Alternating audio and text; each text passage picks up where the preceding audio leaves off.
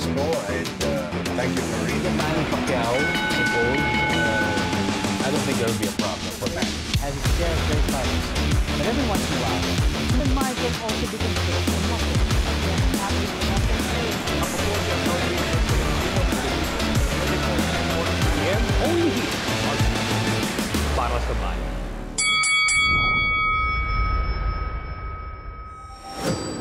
And that's the opening bell for Round by Round, presented by Eastern Communications. Mabuhay Pilipinas, mabuhay world. I'm Boyet Sison. And ako naman, si Dennis Principe. Later on, makakasama rin po natin sa isa po sa ating mga segments ni DC Icasiano. Let's now go to our first segment. Ito po ang ating uh, four-rounder. Dennis. Yes, and uh, we saw no, si uh, Mark Magnifico Magsayo na makascore ng isang impressive uh, victory against uh, former world champion Julio Sea. That was a WBC World Title Eliminator at ang current champion ng featherweight division ay si Gary Russell Jr. Pero huwag kayong magugulat kung makonsider din po ang IBF Championship which is currently vacant. And bakit ko nabanggit yan? Because chances are ano, eh yun ang i-pursue ng team Magsayo because being under MP Promotions and being under Sean Gibbons na kilala as someone who is very close to the IBF, baka hindi lang WBC, malamang IBF Championship ang next na targetin ni Mark Magnifico Magsayo. Second news natin mga kaibigan, the World Boxing Association uh, Championships Committee ay uh, nagdesisyon na i-withdraw ang uh, mga interim championship titles approved so far in the light of the resolution to eliminate all the interim champions. Pero mga kaibigan, they will be approved as elimination fights. Ngayon, ang WBA uh, Championship Committee ay pag-aaralan pa ang uh, kumbaga case to case sa kanilang pag-aaral kung sino sa mga interim champion ang uh, mabibigyan ng pagkakataon to fight uh, the actual champs. Ibig sabihin po yan mga kaibigan na ipag-aaralan nila, di wala na yung mga interim champions sa ngayon, pero pag-aaralan nila ngayon on a case-to-case basis kung sino po ang kakalabanin ng mga in uh, ng mga actual, 'di ba? Actual na mga champion. There seems to be no stopping itong uh, upcoming fight ni Terence Crawford against Sean Porter. And uh, kahit na po nagkaroon ng uh, problema with uh, negotiations, ang World Boxing Organization ay magsasagawa po ng uh, first bidding between the two camps and that will happen September 2. Ang maganda po rito, it will be via live streaming, ano? At ang uh, maganda wow. nito, no, via Facebook, maganda nito isa makikita po natin ano uh, actual na ano ba ang nangyayari sa mga first biddings usually sanay po tayo na nababaltaan na lang natin nanalo si ganito over this uh, camp ano sa kanilang uh, first bid but this time we'll have an idea kung ano po ang uh, nangyayari. Actual inside a first uh, bidding. A minimum allowable bid limit of $200,000 is in place. At uh, pag-uusapan nila kung paano nila paghahatian ang nasabing premyo. Depende sa magiging resulta ng kanilang first bid. Terence Crawford against Sean Porter. Sa ating huling uh, news item mga kaibigan, uh, natatandaan nyo nung uh, nakaraang laban uh, which uh, headlined uh, Jordanes Ugas at si Manny Pacquiao. Itong si Robert Guerrero ay ngayon ay uh, sabi niya eh, I am ready to step up and fight anyone they put in front of me. Ngayon mga kaibigan, ito si uh, Robert Guerrero, nung pumasok siya dito sa laban niya against the uh, vicious Victor Ortiz, ay hindi masyadong napaparuan ng mga odds makers, ika nga. Pero uh, napakagandang resulta para sa kanya in spite of the fact that uh, he has been uh, a bit inactive uh, for a while. Pero nanalo pa rin. Silang dalawa ni uh, Victor Ortiz ay uh, nagbakbakan ng uh, todo-todo. Pero ang nanaig mga kaibigan, ay si Robert the Ghost Guerrero. At ito nga mga kaibigan ngayon, ay ito si Robert the Ghost Guerrero ay ngayon eh sa mga sabi-sabi, no? Eh uh, kinukonsidera na daw ngayon na baka, baka, malaking baka na iha iilatag na isa sa mga iko-konsidera na makalaban kung sakali ni Manny Pacquiao for a swan song, ika nga, for the last fight of Manny, kung yun nga ang mangyayari.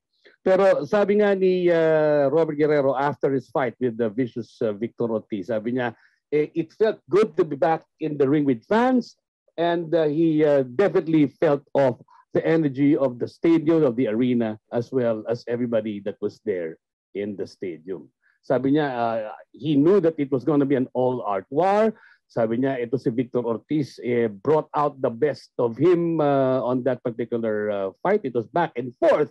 But, sabi niya, I came out on top as I predicted. Talk about confidence. At yun mga kaibigan, ang ating four-rounder.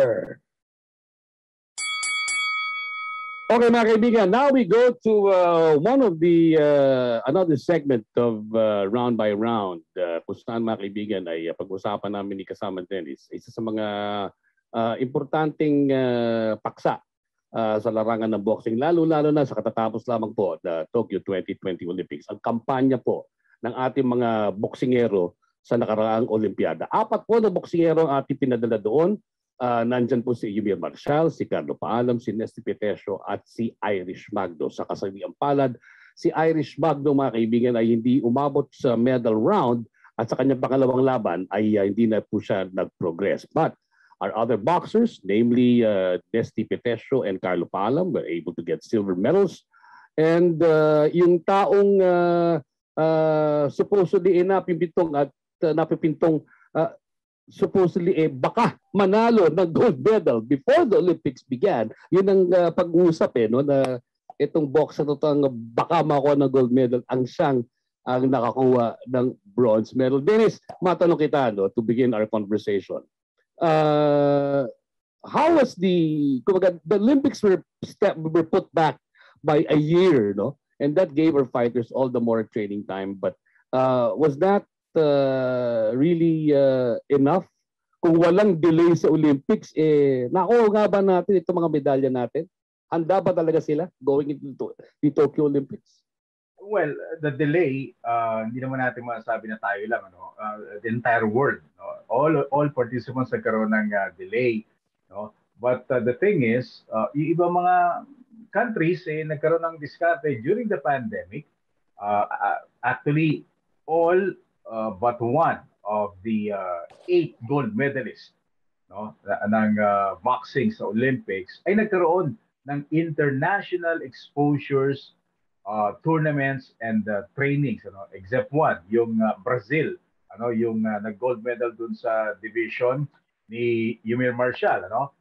Sa kababaihan, all but one of the five uh, divisions nagkaroon din ng uh, overseas exposure. Na we're not blaming um, uh, ABAP no na hindi sila gumawa ng uh, uh, kumbaga hindi naman sa hindi gumawa ng paraan but hindi naging part of their plans ano uh, na mag-campaign abroad because we're in a pandemic ano you can't blame mm, anyone tama yan. if ang decision is to stay home ano Mm. but yun nga yung mga what ifs ano what if kung nagkaroon tayo ng international exposure knowing na meron there were several uh, international uh, tournaments ano, na sinalihan ng maraming countries. For one, in India, they had seven tournaments ano, uh, outside of uh, India na uh, sinalihan. No? So, um, sayang, but um, nangyari na yan. Ano? Um, isa pang maganda rito, uh, Papa B, ano? yung takeaway dito sa Olympics is that walang aiba. Ibig sabihin, walang controversial, questionable scoring na nangyari.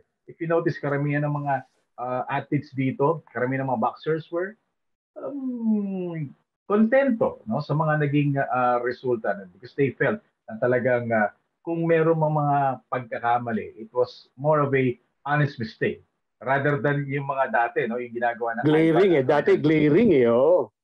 Exactly. Nagkakaroon talaga ng dayan. Remember in 2016, yung si Mike uh, Conley ba yun? Uh, yung isang uh, British fighter na nag-dirty finger ano, sa mga judges. So, Oo.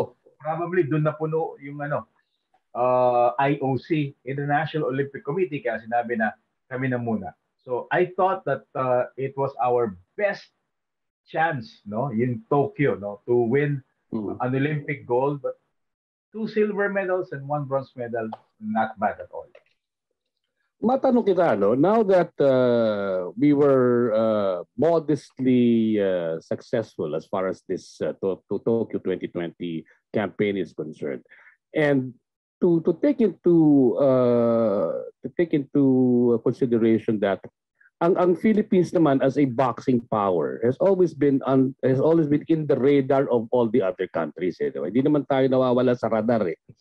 Pero now that uh, two silvers and uh, one bronze uh, for uh, Ymir Maishal, eh, ang mindsetting ba natin ngayon, ang mindsetting ba natin ngayon, lalong-lalo na pati ang uh, publiko, no, ang- the public is now more aware of what really goes into a preparation, uh, not only for an Olympics, but maybe for each and every international competition of, of, of note, di ba? nasasalian ng ating mga atleta. Uh, magbibigay ba ng mas magandang uh, landscape yan moving forward? Of course, of course, you know, because uh, all the developments na nangyayari ngayon, uh, it is really very encouraging. Uh, because I'm sure yung mga kabataan natin, yung mga batang boxers natin, yung mga bata pa yung mga yan, no, they know the history of uh, Mhm. Philippine uh, boxing, lalo na sa pag-campaign sa Olympics, even sa Asian Games, Southeast Asian Games. Grabe yun yan. We've been victims. You know, uh, for one, no, yan na naman ang issue, eh, no, sa boxing, Mm, yung mm, mm. scoring. No? Hmm. Kailangan na, we don't need to corrupt people, we don't need to bribe people, uh, Mm. we don't need to campaign for our Hmm. uh, uh, uh, fighters, you know, to to to uh, give us some favors. No? Simple lang kailangan natin eh. No? Fair judging, fair scoring. Hmm. And for sure, it will be easy for us. Ano? Kung kinatatakutan natin yung Cuba, ganun din tayo katakutan. Kung gano'n natin kinatatakutan yung Cuba, ganun din ang tingin sa atin no? ng uh, lahat ng mga bansa because they know no? na talagang uh, we're capable of winning gold medals, not just medals. In professional boxing, we've had Ah, 70, 80 world boxing champions. Isang gold ba? Exactly. Hindi posible. Exactly. Uh, madami na, madami na so, as far as the professional uh, boxing world is concerned. I mean, you know, hindi naman tayo napapagulihan dun eh dahil ang dami-dami na natin naging uh, uh, matingkad na mga kampiyon. Uh, pero sa pagdating sa amateur, dahil nga nasabi mo, eh, madalas sa hindi, no? madalas sa hindi, eh, uh, natitwist o namamaniobra yung mga resulta. Pero no, let, let, let me now ask you this, ano, uh, just to uh, give a better perspective as, as to how uh, the future looks no, for, for, for, uh, for us as a boxing country uh, uh, moving forward. Anong, an, sa ngayon, ano, ngayon, from, from now till, let's say, the Southeast Asian Games, Asian Games, and the 2024 uh, Paris uh, Olympics, which is less than uh, three years na lang ngayon, no, kung, kung tutuusin, no, hindi na four years eh, dahil yun nga, na, nakain na yung pang-apat na taon nitong pandemya. Ah, sa tingin mo, ano, ano ang anong ano ang mga dapat nating i-look forward o ano mga dapat nating gawin not only as a uh, boxing country but uh, for for our officials and our athletes to to be more conscious of moving forward. Well, for our boxers, uh, kasamang Boyet, uh, specifically, siguro, titignan natin uh, in the overall scheme of things, ano, yung leadership and coaching, um, we should uh, pick up from where we left off. Ano? Olympics ang dapat uh, jump off point natin papunta ng Paris. Okay? Hindi dapat tapos na tayo Olympics, tapos na yan, back to square one, uh, mag, mag, magbakasyon kayo. No. Uh, alam mo, while it is understandable that our boxers right now, our, our uh, Olympic uh, medalists, no, are getting invitations uh, left and right, no, okay Yeah. yan. But there has to be Enjoying the fruits of their labor, ika nga, di ba? Enjoying the uh, fruits of their labor and enjoying all the, at, the, the, the platitudes and rewards of their hard work. You know, yeah, they deserve that. But Yes, know, they dapat definitely do. dito, dapat dito, uh, may hangganan. Ano? And we're not being uh, rude to them. Ano? Because, let's face it, we still have an unfinished business as far as boxing Mhm. is concerned. Oo. Kinubuan na yung gold medal, ano? Sinasabi nga natin na noong Olympics. But, you know, we were on cloud nine. Ano? At uh, mahirap pag-usapan yung mga mistakes na nangyari or kakulangan. Ano? So now that medyo nagda-die down na yung um, Euphoria, yung, ika nga. euphoria, okay? Ah. So, let's go back to reality, di ba? We have yet to win a gold sa boxing. It's good, meron tayong Heidelin Diaz. Ano? Mm. It's an unfinished business. And when you, say unfinished business, we're in the middle of uh, a program dapat ang, ang trato natin. Hindi tayo Ah, magti- ah. hindi tayo titigil sa Tokyo. We have to move on, continue, and uh, you know, balik tayo, pagiging disiplina, and uh, let let's uh, try to get back the hunger, ano? And and it's very clear that we have uh, uh, three medalists na pwedeng-pwede pa sa Paris Olympics. So, you know, dapat uh, ano pa rin tayo, uh, tuloy-tuloy pa rin. And, uh, you know, sa akin, dapat magkaroon na ng time na medyo tapusin na muna natin itong pag-enjoy ng mga boxers and let's look forward and let's uh, uh, restart everything. Actually, ituloy na natin, you know? Dire-diretso na to, papunta ng Paris Games. And now, mga kaibigan, let's now go to our Eastern Communications Fearless Forecast kung saan na pag-usapan namin ni uh, kasama Dennis ang uh, napimpintong laban between Kazuto Ioka and Francisco Rodriguez. Itong si Kazuto, Kazuto Ioka uh, has a record of 26-2 and then itong si uh, Francisco Rodriguez Jr. of Mexico ay may 34-4 and 1 na record. Ang kanilang paglalabanan ay ang WBO Super Flyweight title. Magaganap po ito sa September 1st, 2021 at magaganap ito sa Ota City Gymnasium in Tokyo. Kazuko Ioka, the reigning WBO Super Flyweight champion at 32 years old, will uh, be battling a former IBF and WBO mini flyweight champion. Dennis, ano nararamdaman mo dito? Well, Kazuto is, Ioka is the uh, prohibitive favorite dito sa laban na to because talaga namang uh, nag improve yung kanyang uh, skill no and performance so, for every title defense. Ano? This is going to be his uh, third title defense since winning the vacant crown uh, by beating uh, Filipino Aston Palikte. Nagkaroon ng uh, uh, successful uh, initial defense. Second defense was a very impressive one no, uh, against uh, a, an unbeaten uh, Japanese uh, superstar. Ano? So talagang uh, all eyes are on him, mataas ang expectations, but I like the chances of Francisco Rodriguez Jr., a huge underdog in this uh, fight, but he's been on a roll. He's had 12, 13 straight uh, victories since 2015. Yung kanyang huling talo was uh, against a former world champion, si Moises Fuentes. But uh, nakita ko yung lineup, yung ladder niya papunta rito uh, into becoming a challenger of uh, Kazuto Ioka and I was impressed and I really feel and my fearless forecast is that the WBO Super Flyweight uh, Championship will return to Mexico dala-dala ni Francisco Rodriguez Jr. Ibig sabihin niya, may championship na. May sandamakpak bang tequila! That is our uh, Eastern Communications Fearless Forecast.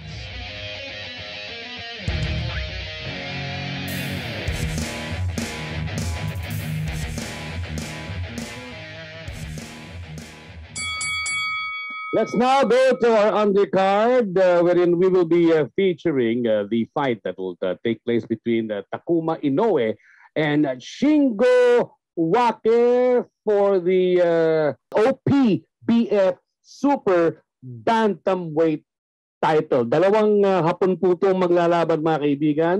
Uh, isa ay uh, 25 taong gulang, isa naman is 34 years old isang uh, fighter na ngayon eh medyo uh, gumagawa ng ingay at isa naman eh veterano. Uh, pero nasan ka dito uh, Dennis? Ano bang mas mananay dito? The younger or the older? Well, while mas konting laban ni uh, Takuma Inoue, no, I think and and and I feel no na masyado malayo yung kanyang uh, skill right now. Shingo Wake used to be a a uh, uh, hot prospect no sa Japan. He had uh, a chance to vie for the IBF Super Bantamweight title. Pero yun nga, medyo nagkaedad na na marami yung kanyang laban, ano, uh, halos doble compared dito kay Takuma. The younger fighter and the hungrier of the two. Uh, tsaka ano rin, lumaban din for the Bantamweight uh, Championship, although natalo rin. Ano? Uh, ito mm. yung uh, tinalo ni Nordin Ubali. No? Before lumaban si Ubali kay Nonito Donari Jr. So uh, mukhang maganda pa rin yung future ni uh, Takuma Inoue and I like his chances dito sa laban na to against Shingo Wake. Mga kaibigan, for our next segment, uh, narito si Nisi Icasiano na, na magsasalita tungkol sa dalawang uh, manufacturing uh, company sa Pilipinas who are creating a new market by producing locally made boxing gloves. Thanks, Boyet and Dennis. Everlast, Cleto Reyes, Winning, and Grant are the most recognizable names when it comes to gloves in the sport of boxing. Meanwhile, in Southeast Asia, Thai brands such as Twin Special and Fairtex have been dominating the game since the mid 2000s. Two manufacturers of boxing gloves in the country are looking to change all of that. Tonight on Round by Round, we are joined by Just Lee of Lumaban Combat Sports and Jeline Aquino of Payantog Sports. Just and Jeline, welcome to Round by Round. First of all, can you tell us more about the company? What is Lumaban and its history? it wasn't really my intention to start a, a boxing glove company or anything of the sort. Uh, actually, what ended up happening was uh, I was writing um, a screenplay for a director about uh, uh, two kids from the province who were trying to make it as trainers and fighters in in Manila. Uh, and their last names, I chose Lumaban. And so in the process of writing the film, I don't know, sometimes I just kind of like, I had to switch up and do something else creative. So I, I just drew out this, uh, this logo. And if you can kind of look at it, it's like uh, a farmer riding, you know, there's like the farmer's hat and this is the Carabao's horns. You know, uh, so therein started uh, the brand and the and the choice to to move forward with boxing equipment as a as a way to represent myself uh, to the boxing community here in the Philippines. Ma'am, first of all, can you tell us more about the company? What is Payantog and its history? It started na yung ano, meron kaming friend na marunong siyang magtahi. So actually, parang dati siyang mananahi kung baga tapos nag-try sila na nagtatahi sila ng punching bag. So, lagi silang naghihiram ng pera sa amin. So, sabi namin kung pwedeng magtahi sila sa amin, parang mag-put up kami ng business, to kami ang magbibigay ng capital sa kanila, tapos sila magtatahi. So, pumayag sila. So, doon po nag-start yon Until na nagdagdag na kami nung product namin hanggang, di ba, nag-start kami sa punching bag, nagkaroon kami ng boxing gloves, tapos lahat na nung gamit thanks to the popularity of Manny Pacquiao, in the early 2000s, sports shops started to carry good quality gloves from Thailand. But still, there were no local brands available in the market until today. Was this one of the important things you considered as well as inspired you when you established the company? Uh, definitely. I, I, definitely felt that there was a hole in the market with regards to uh, locally branded boxing equipment. And, uh, and some of the stuff that I saw uh, out there, um, trying to break ground as boxing equipment or fight equipment, was kind of missing the mark on in regards to like quality and, and craftsmanship. Dahil nga, yun nga, di ba, nauso na yung boxing dito sa atin sa Pilipinas. So kahit sa ibang bansa is kilala yung mga Pilipino na magaling sila sa sports, sa larangan ng boxing. So naisip ng asawa ko na magtayo ng anong company na kakaiba siya na hindi siya pareho sa ibang company. Kumbaga, wala tayong competitor. Tapos, locally made siya. And then, yung pangalan niya is uh, Philippine, Filipino brand talaga siya. Ayaw niya nung English. So, that's why Payantog ang ginawa niyang brand. Now let's talk about the craftsmanship behind each pair of gloves. What makes your brand of own set the your the brand's set of gloves different and unique from other gloves available in the market today? We use uh, cowhide. Um, not a lot of not a lot of gloves, particularly here in Southeast Asia, are using 100% cowhide. A lot of them are using uh, synthetic uh, or what, what they call hybrid materials. Second is we're not uh, in, injected foam mold. Uh, we're uh, uh, there's three layers of foam used in, in the glove. So there's uh, foam to protect the hand uh, for the form of the glove, and then for the fill. Um, so it's not just one sort of like compartment that's just like injected with foam and, and filled like like some some other gloves.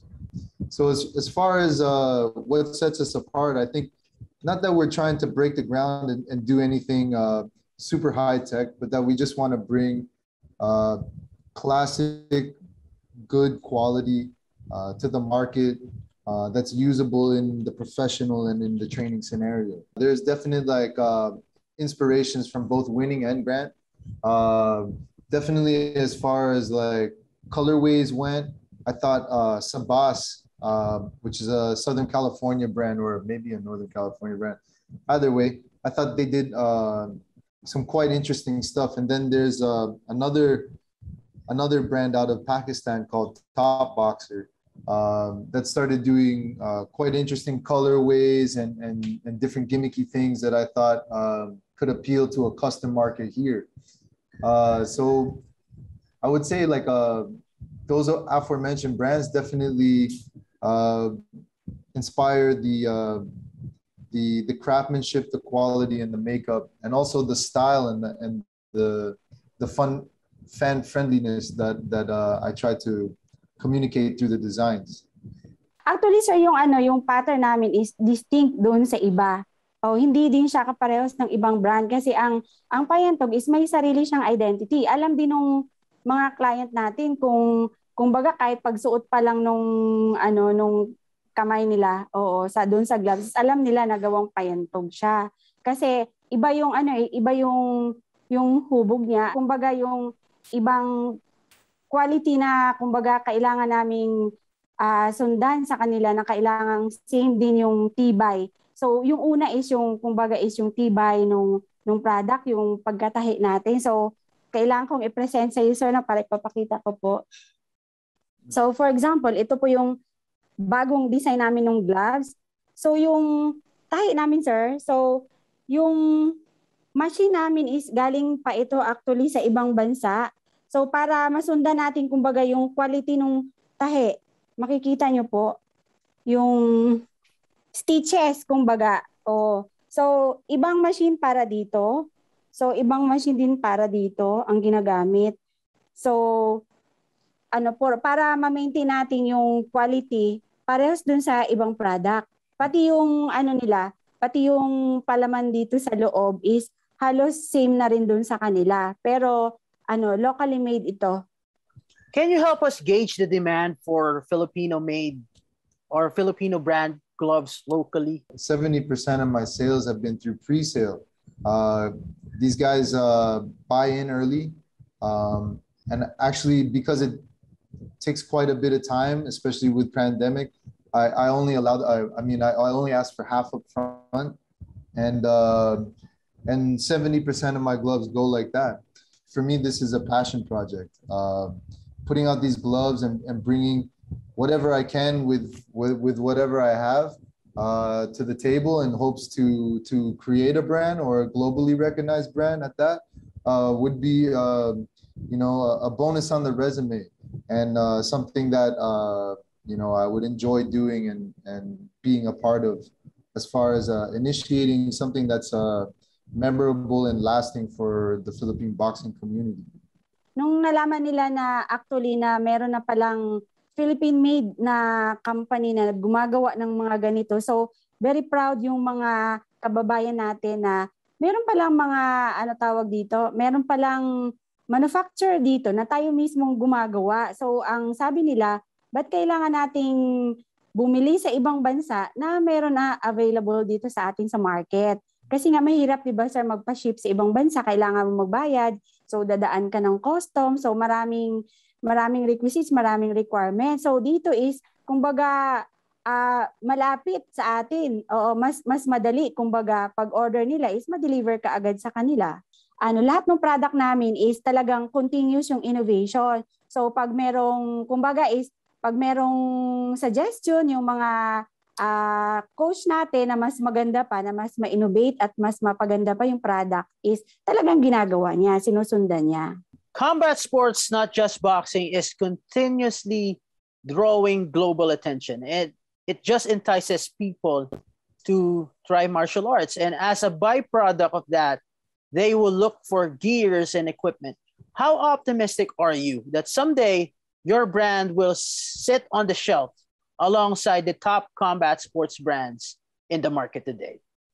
Dahil po na meron kaming tiwala na talagang maganda ang quality natin at Philippine made ito. So talagang sure po naman kami na kumbaga is uh, ang ang tawag dito yung mga Pilipino is talagang uh, gusto nilang suportahan ang gawang Pilipino kaya po siguro talagang hanggang ngayon is kahit mga almost six years na po tayo, andito pa rin tayo sa market. I think uh, our brand will stand apart in a in a in a realm of like uh, custom uh, gear shoppers or, or people that want uh, you know well crafted, well made, uh, and and and low I would say uh, uh, low output uh, stuff that's uh, sort of uh, exclusive in a way.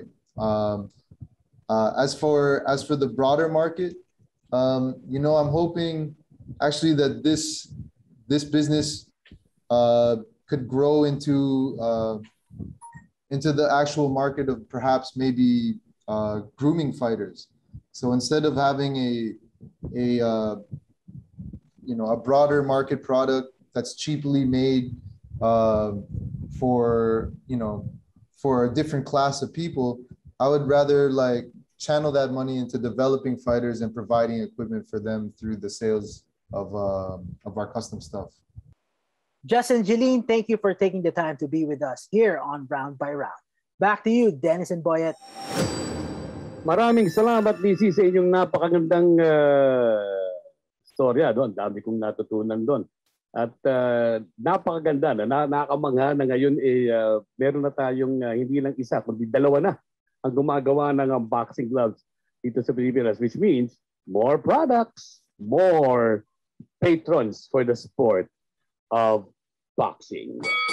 At yan po mga kaibigan, that is the final bell for today's episode of Round by Round presented by Eastern Communications. I'm Boyet Sison. And again, I'm Dennis Principe. Siyempre, we are on Facebook Monday to Friday, 6 p.m. and uh, YouTube. Don't forget to uh, like, follow, and share ang aming po mga social media platforms. On the next edition of our show, my uh, partner for today, Dennis Principe, Nisi Icasiano, and Ryan Songalia will be the ones to work the fights for you to end the first week of our show.